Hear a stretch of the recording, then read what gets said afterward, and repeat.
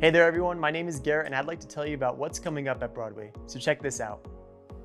Oasis is starting back up on Wednesday, September 8th at noon in the Family Life Center. Enjoy solid biblical teaching over lunch prepared by BCC volunteers, all for just $5. This is a great way to build community and get closer to God. Sign up each week at bccmesa.com slash info.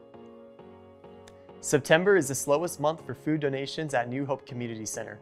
So they're running a drive for canned fruits and vegetables all month long. Bring a donation to one of their green bins in the lobby on Sundays. Let's overwhelm them with generosity.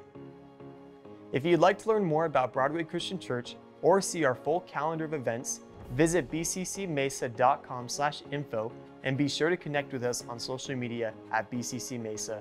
Have a great week.